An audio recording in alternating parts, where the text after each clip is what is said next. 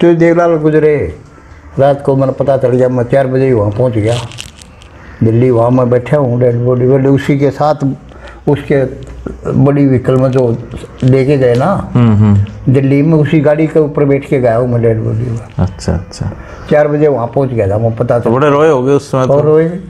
क्यों नहीं? एक बार इंदिरा गांधी की सरकार थी दिल्ली गया हुआ था मैं। हम्म तो साहब काफ़ी तबीयत खराब थी। जी।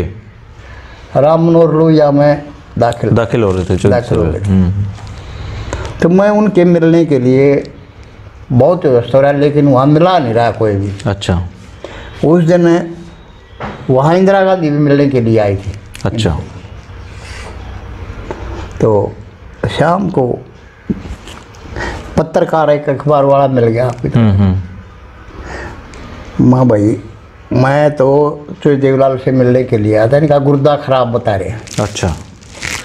मैं गुर्दा देना चाहता हूँ। तो मतलब आप इतने उनके साथ जुड़े हुए थे कि आप हाँ। अपना गुर्दा तक देने के लिए हाँ। तैयार थे। तो उर्दू का अखबार का पत्रकार था। हम्म हम्म। मिलाप था या प्रताप था कोई अखबार इस तरह के निकलते थे। हम्म देवलाल बीमार होते वे अखबार ज़रूर देखा करते अच्छा। उन्होंने वो खबर छाप उन्होंने खबर देख ली। हाँ हाँ। मेरे को बुलाया अगले दिन।